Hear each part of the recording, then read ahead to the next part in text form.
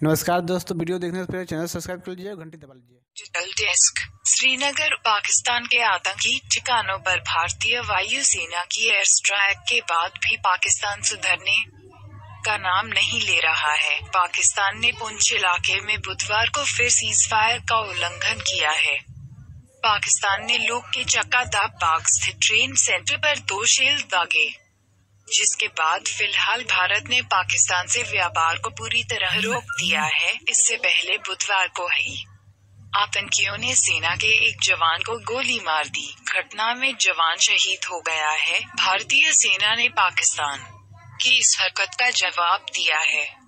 हालाँकि गोलीबारी में स्थानीय लोगों का काफ़ी नुकसान हुआ है। इससे पहले पुलवामा आतंकी हमले के बाद भी भारत ने पाकिस्तान से व्यापार बंद कर दिया था। दरअसल, पाकिस्तान के बालाकोट में आतंकियों के ठिकाने पर इंडियन एयरफोर्स द्वारा की गई एयर स्ट्राइक के बाद पाकिस्तान बौखला गया है और लगातार युद्ध विराम का उल्लंघन कर रहा है। एलओसी से सटे राजौरी और पुंछ के सेक्टरों में पाकिस्तान की तरफ़ से फायरिंग की जा रही है। भारतीय सुरक्षा बलों को इस समय दो मोर्चों पर लड़ाई लड़नी पड़ रही है।